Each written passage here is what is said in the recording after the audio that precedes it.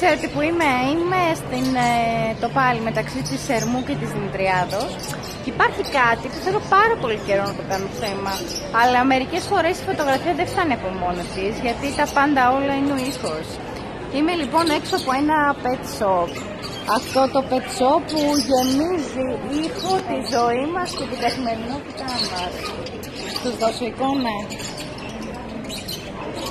Κοιτάξτε, κοιτάξτε τα σκυλάκια.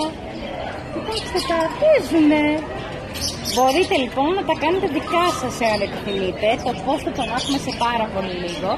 Πάμε να δούμε και από εδώ τα πουλάκια τα οποία τα ακούμε καθημερινά. Μα τι όμορφα χρώματα, βλέπετε.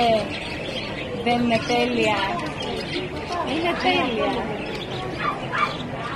Αυτή είδα τώρα. Δεν θα σταματήσω για αυτό που είδα.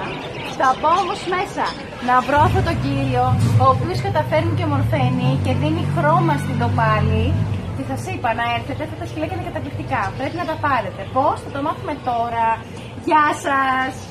Είμαστε από το Βολονάκι TV. Αχ, έχετε και ψαράκια. Κοιτάξτε. Κοιτάξτε τι έχουμε εδώ. Όλα μπορείτε να τα βρείτε εδώ στην ε, το πάλι.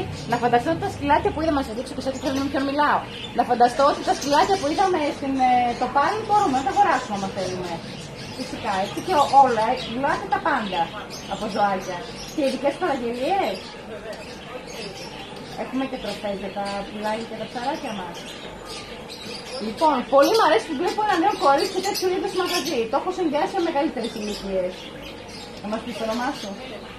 Γεια σου, Έλενα.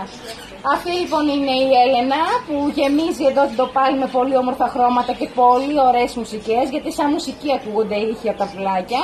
Εμείς σας αφήνουμε και ελάτε εδώ στην τοπάλη να πάρετε αυτά τα πανέμορφα σκυλάκια. Εγώ έχω φάει κόλλημα, το καταλάβατε έτσι.